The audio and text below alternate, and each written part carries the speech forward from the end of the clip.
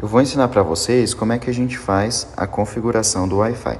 Primeiro passo é a gente entrar no aplicativo SolarMan Smart e fazer a conexão no Wi-Fi que a gente deseja ligar o Wi-Fi do nosso inversor. Então, meu celular aqui já está conectado no Wi-Fi que eu vou ligar o meu inversor, certo? Abro o aplicativo, entro na planta, depois eu vou clicar aqui em cima, ó, nessa barrinha, em dispositivo. Espero ele carregar as informações clico em Data Logger, espero, espero carregar e depois clico aqui, redes de dispositivos. Feito isso, aqui o aplicativo já selecionou a, o Wi-Fi que eu estou conectado como sendo o Wi-Fi que ele vai conectar ao inversor.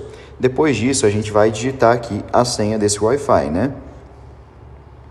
Feito isso, eu vou clicar agora aqui, comece a configurar. Ele vai fazer um teste para ver se o Wi-Fi está funcionando. Agora ele solicita que a gente conecte o Wi-Fi do nosso celular no Wi-Fi do inversor. Qual que é esse Wi-Fi? Você consegue observar aqui, ó. Na antena do seu inversor, você consegue observar. O Wi-Fi sempre vai ser AP, uma setinha, né, um tracinho e esse número que está aqui, no caso 16 6631, né? Na sua antena vai ter outro número. A senha para você se conectar no seu Wi-Fi vai ser essa aqui, ó. BF89, vai ser a que está escrito lá na sua antena. Como aqui eu já conectei, o processo é mais simples, né? Eu só venho aqui, já, já coloquei a senha anteriormente, eu só venho aqui e seleciono o Wi-Fi do inversor.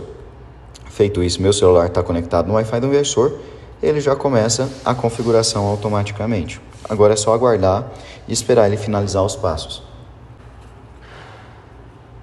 Pronto, você já fez a alteração da senha do Wi-Fi, já reconfigurou a sua antena, né? Agora é só esperar cerca de 10 minutos para as informações atualizadas aparecerem no aplicativo.